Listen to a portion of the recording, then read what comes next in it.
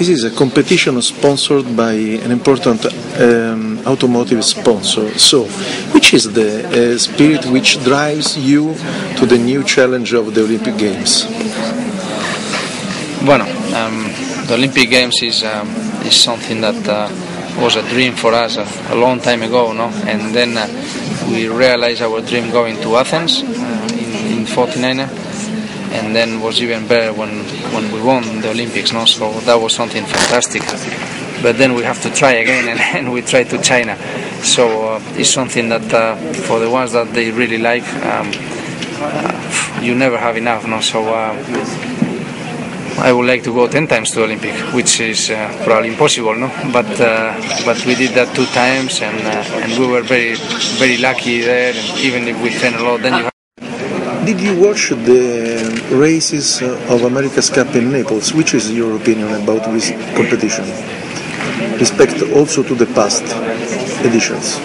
Well, looks great. At, at least from the outside, looks uh, looks fantastic. No, um, these multi hulls they very fast and looks like the people doesn't stop working at all. Looks something very close of of, uh, of uh, what we were doing until now. No, this 49er sailing looks looks pretty much uh, the same. No, obviously the boats are different, much more powered and with these wings, and uh, but uh, looks looks good fun. I think is a I think is a good improvement. No, um, the America's Cup with the monohulls was something very nice. Was nice to watch, but uh, but. Um, things are just changing. I think I think that's the future, no? So uh, so this is the future. Be good. Well, hopefully. Um, several sport journalists say that you are going to sign with Luna Rossa.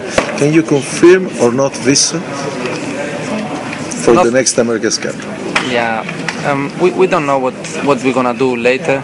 Uh, we're gonna we have to finish the Volvo first, and then we're gonna go to Olympics. But uh, but obviously the America's Cup is something very nice for us, no, with with these kind of boats and. And obviously, Luna Rossa is, is one of the big teams, so uh, so why not? Uh? it's true that, that we've been in contact. It's, it's true that, that, that we've been talking we've been talking to them, but uh, but uh, we'll see what happens in the future. No, um, we have but to wait a little bit more. It will be more yes or more or not, in your opinion.